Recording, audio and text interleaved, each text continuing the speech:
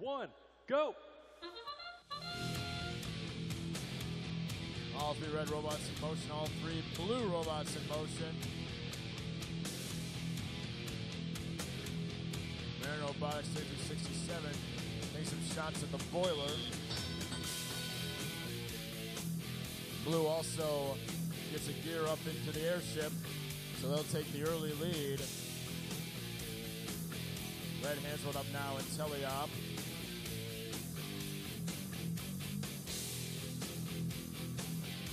Red robots heading toward the corner station. Blue robots doing so now.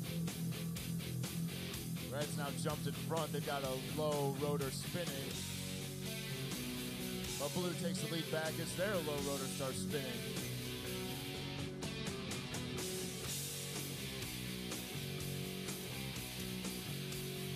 Forty oh nine trying to a gear placed on the mechanism. They do so. They'll spin back and head for the corner now. Quick contact with 2450. They get by and get in place for another gear. Red trying to keep pace, down 21. Blue needs only one more gear to get a second low rotor spinning. Red with more work to do on that front. Gear is dropped on its way up, hand up by 1094.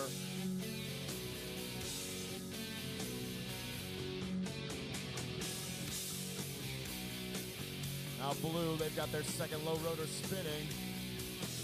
They hold a lead, but it's a narrow one. Red adds another gear. We're at 40 seconds. Both sides trying to add more gears. 76. Go away, holding onto that gear awkwardly. They need to back up to grab another. Endgame has begun. Blue still with a narrow lead. 876 having some difficulty getting back to their airship, blocked by 1094.